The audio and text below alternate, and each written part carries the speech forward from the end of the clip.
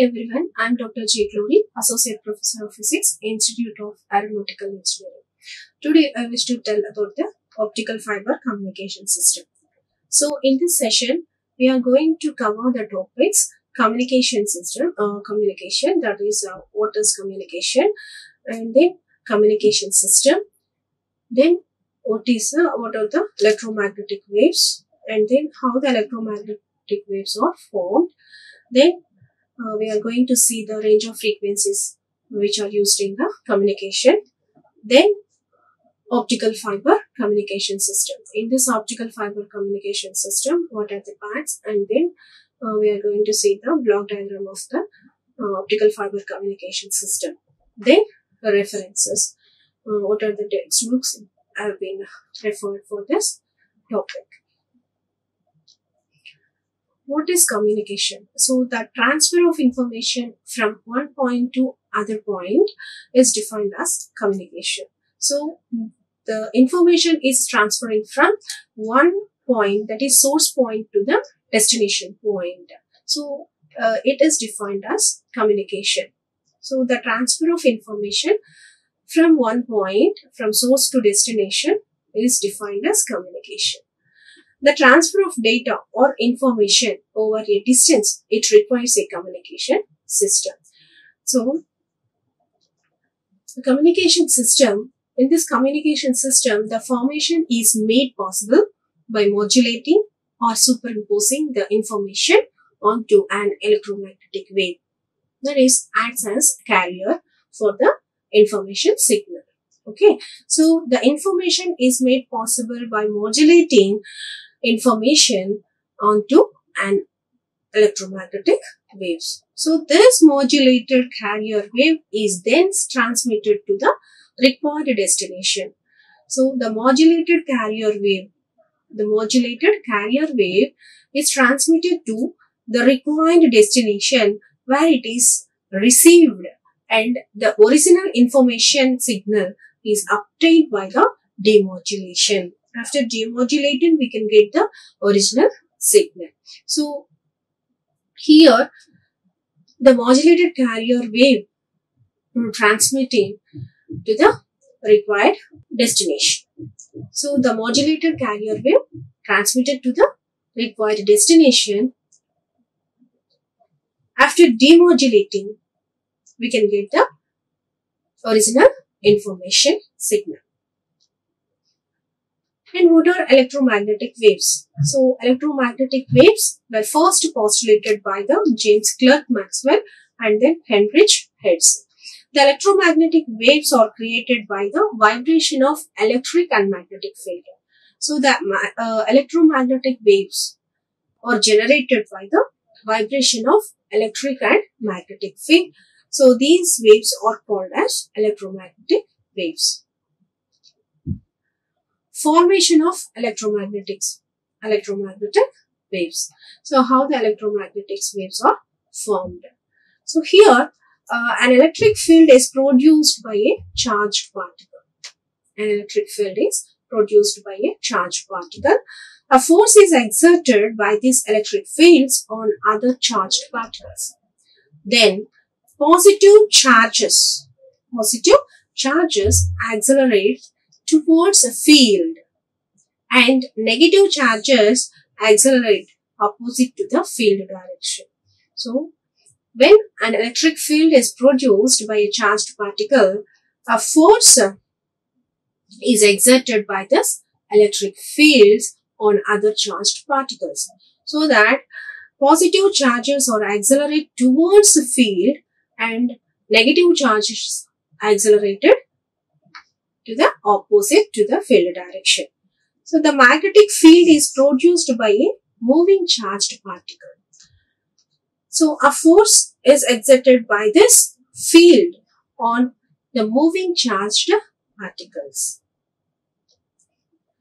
The force on these charges is always perpendicular to the direction of their velocity.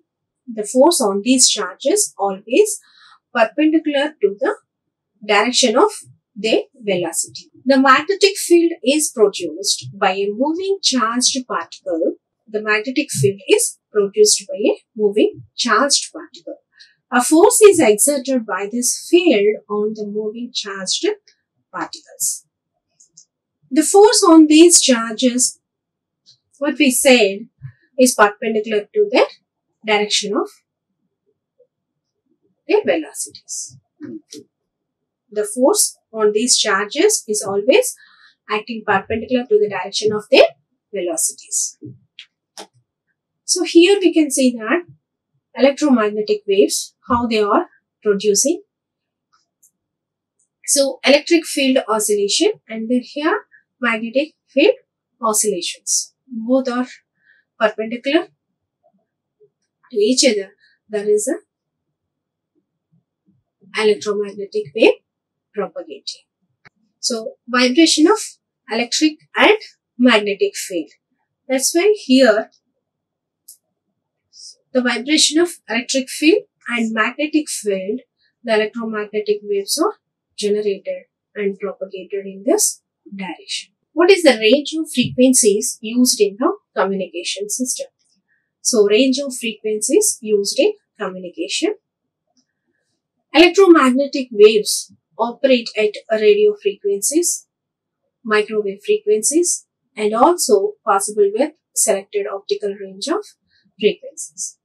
The radio frequency spectrum includes the set of frequencies of the electromagnetic framework ranging from 30 Hz to 300 GHz.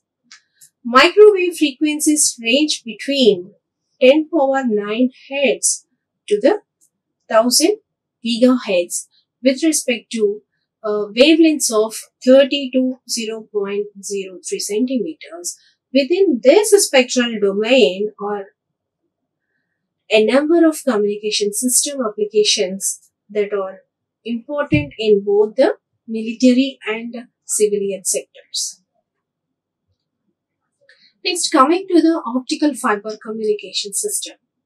So, optical fiber communication system mainly consists of three parts. So, transmitter, optical fiber and then receiver.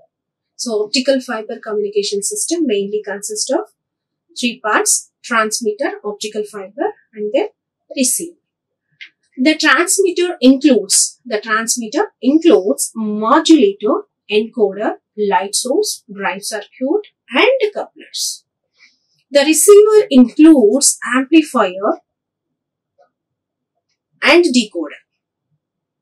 So binary electrical signal and light decoder.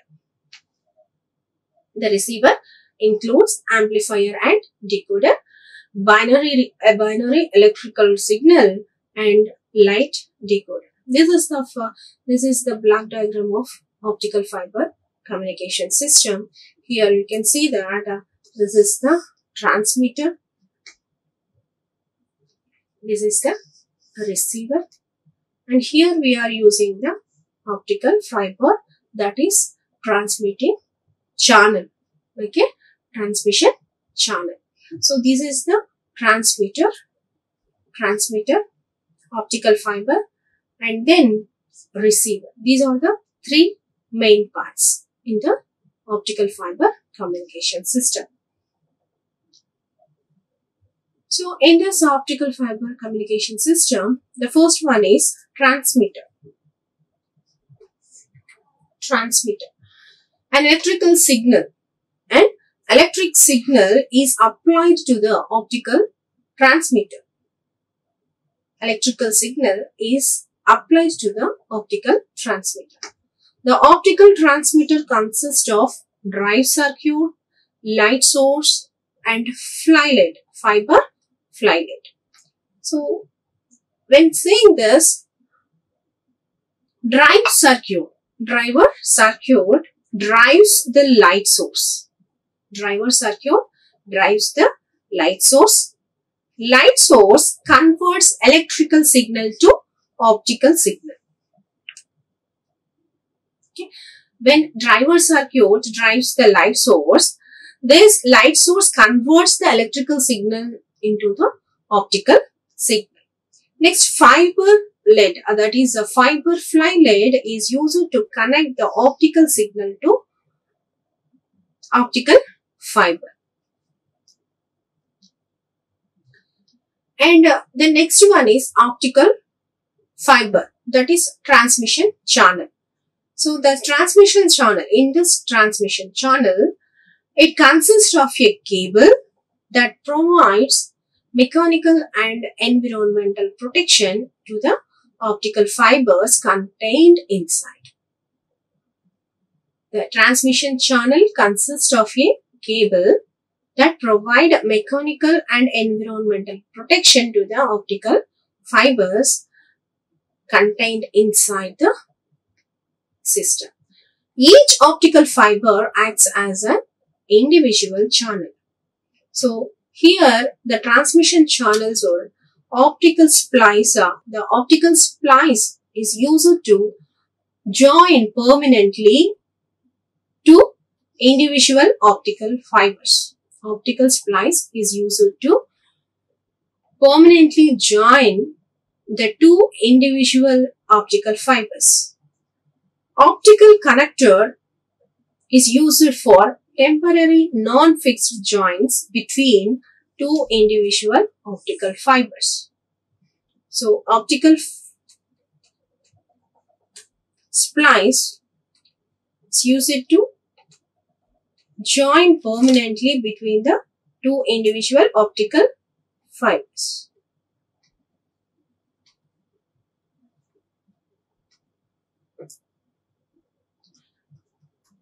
For temporary connection, we use optical connector.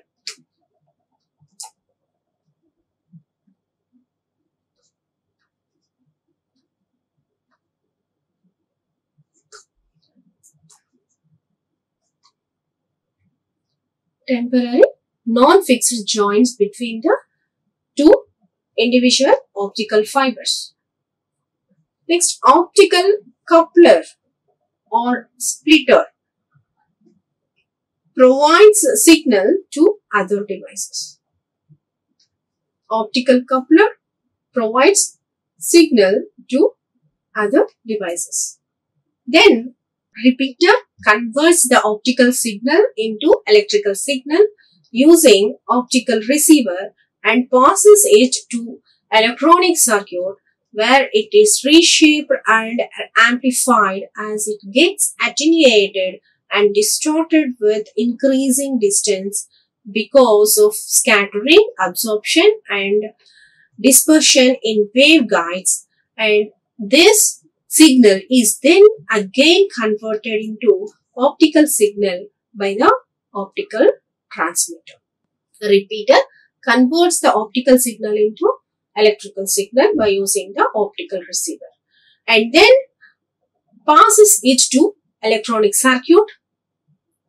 So in this electronic circuit, the signal is reshaped and amplified because it gets distorted because it gets attenuated and distorted with increasing distance so that uh, there it is reshaped and amplified in the electronic circuit. And then this signal is then again converted into optical signal by the optical transmitter.